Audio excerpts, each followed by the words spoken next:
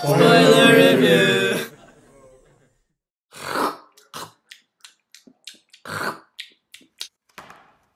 Oh, pop pops! Everybody loves pop pops.